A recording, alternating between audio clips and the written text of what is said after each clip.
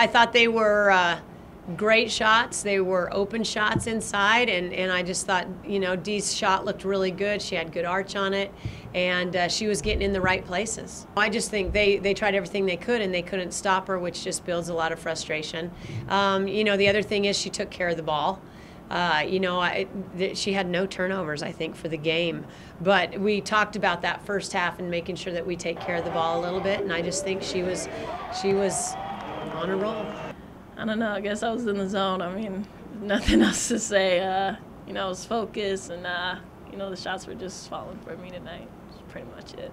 24 points in the first half. It can take off a lot of pressure, but um, yeah, once we knew that Didi was on form and like we we knew we were okay when when Didi because she was just on fire. But um, she's always she's always like a great player anyway, so we can count on her to always show up every night. But tonight she was just amazing. So it was great. Our main focus was, uh, you know, just coming out and getting started early. Uh, definitely defense. Defense helped us out with that, you know, in transition, getting the ball up and down the floor. So that was our, our main focus. It was great, and I was given an opportunity to play, so I just did what I could, and luckily for me, layups went in and stuff. But it was just the best feeling ever, and then to play with those girls, it's just Lauren and Tor, like the best seniors ever, to go, come along with us. So it was great.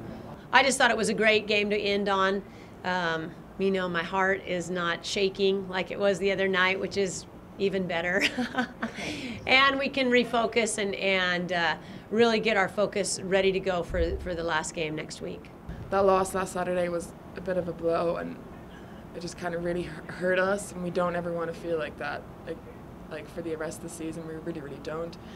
And like for our home game here and the way we played, and like we won by a lot, and everyone got to play. It was just a great feeling. It was a great way to to end it at home or maybe not. We might still host a tournament. Hopefully, that'd be great.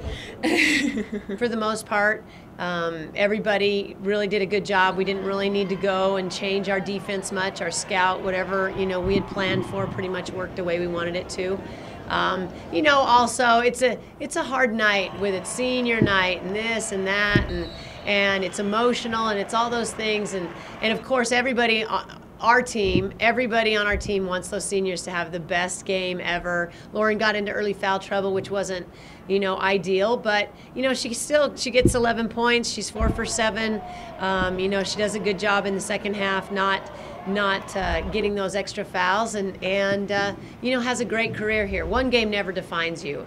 Um, her career has been stellar. Same with Victoria, and Hannah's had some big games and just really filled a spot that we've needed, and just really proud of those three kids. Um, our seniors, um, you know, can't say enough about them. They're, um, you know, our team, our leaders, and uh, we all look up to them.